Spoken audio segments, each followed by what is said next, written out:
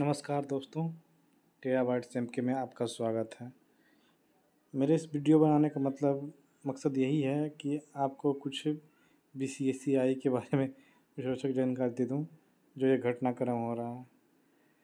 चाहे कुछ जो घटनाक्रम होने वाली है, चाहे हो, होती आ रही है, जो भी समझो सबको मैं बताना चाह रहा हूँ। देखिए, अभी मैं ट्विटर खोला, उस पर एक चीज़ ट्रेंड कर रहा था, रोज़र बिन्नी पाँचवें नंबर पे और बी सी सी आई रोज़र बात ऐसा है कि रोज़र बिन्नी बन गए हैं बी सी सी आई के नए प्रेसिडेंट ठीक है? इसके पहले थे कौन? दादा अपने, Saurav Ganguly. B C C I के नए प्रेसिडेंट बने हैं रोज़र बिन्नी, जो कि एक पूर्व खिलाड़ी भी रहे हैं, बहुत अच्छे प्लेयर भी रहे हैं भारत के लिए। ठीक है? इनके जो लड़के थे, बेटे थे स्टोट बिन्नी भारत के लिए वो भी खेले हैं। इनका अपना बहुत साफ़ सुथरा छवि रहा है, अभी तक तो। ठीक है। मैं बता रहा था आपको कि देखिए कैसे आईपीएल आईपीएल, बीसीसीआई में पॉलिटिशियन घुस करके उसको ख़राब करते हैं। जब आप जितने भी स्पोर्ट्स देख लो इंडिया में, सब में पॉलिटिशियन रहते हैं। बीसीसीआई को देख लीजिए, श्रीनिवासन रहे। रहे कि ना श्रीनिवासन? पी के और महाराष्ट्र के ऐसे प्रमुख शरद पवार भी रहे। इस सब कोई अभी अमित शाह के बेटे जय शाह हैं। सब कोई पॉलिटिशियन इसमें घुसता है, स्पोर्ट्स में। उसके पीछे कारण समझिए होता यह है कि सारे पॉलिटिशियन घुसते हैं और इसमें क्या होता है, जो स्पोर्ट्स का जो बॉडी है, बीसीसीआई है, चाहे फुटबॉल एसोसिएशन ऑफ़ इंडिया है कोई भी एसोसिएशन ऑफ़ इंडिया है, स्पोर्ट्स का, वो नॉन प्रॉफिट ऑर्गेनाइजेशन में आता है, यानी कि एन में आता है। ठीक है? यानी कि एन अगर कोई पैसा अर्न करता है तो उस काम के लिए ही खर्च करेगा जिसके लिए वो एनजीओ है। यहीं पे खेल हो जाता है। खेल क्या होता है? सारे पॉलिटिशियन घुसते हैं। अपना घुस गया।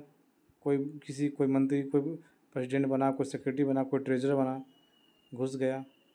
घुसने के बाद वो सब नेता से फिक्स कर लिया। भैया, पैसा दीजिए, आपका यहाँ ब्लैक का मनी वाइट करवा देते हैं। भाई एनजीओ है। पैसा मिलेगा ट्रस्ट में कोई पैसा नहीं डोनेट कर सकता डोनेट करवाता है। अपना उसको किसी किसी फॉर्म में निकलवा दिया, कुछ कुछ कुछ सामान बेच दिया उसको, कभी कुछ का एग्रीमेंट करवा दिया, कभी कुछ सामान ले लिया, कभी कुछ करा दिया। इस तरह से ब्लैक का वाइट करते रहता है।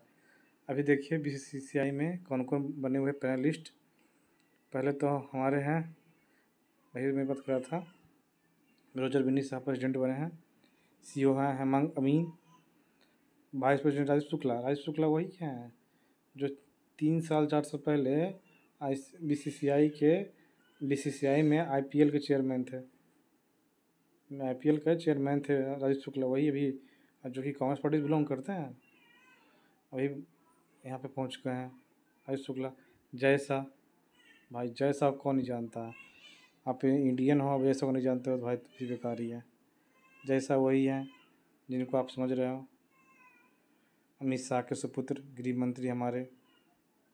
उसके बाद हैं, मेंस कोच मेंस कोच है राहुल द्रविड़, स्पोर्ट्स फ़ील्ड से हैं। वुमेंस कोच कौन है? रमेश पवार, यही भारत के प्लेयर रह चुके हैं रमेश पवार। पता नहीं, आप लोग देखा नहीं, लेकिन रमेश पवार को मैं खेलते हुए देखा हूँ। अदर की स्टाफ में आशीष सेलार आशीष सेलार ट्रेजरर हैं। देखिए, आशीष सेलार हैं जो कांग्रेस से, पार्टी से बिलोंग करते हैं और महाराष्ट्र में एमपी भी रह चुके हैं। सॉरी, एमपी नहीं आशीष सेलार भारतीय जनता पार्टी से आते हैं और ये एमएलए रह चुके हैं महाराष्ट्र माफ़ कीजिएगा। महाराष्ट्र से एमएलए रह चुके हैं। अब देखिए, अब देवजीत सैकिया हैं, जो जॉइंट सेक्रेटरी हैं अब क्रू क्रू बिल्ला जिनर मैनेजर हैं। अब देखिए इनका। ये फॉर्मर क्रिकेटर रह चुके हैं बी सी सी आई सी के अंदर में। इंडिया के लिए खे इंडिया के लिए शायद नहीं खेला। टेस्ट अच्छा इंडिया के लिए खेल चुके हैं। इंडिया के लिए खेल चुके हैं। दस टेस्ट और पच्चीस ओडीआई खेल चुके हैं। और उसके बाद है सबीर हुसैन। सबीर हुसैन इनके बारे में कुछ डिटेल नहीं दिया गया है विकीपीडिया पे।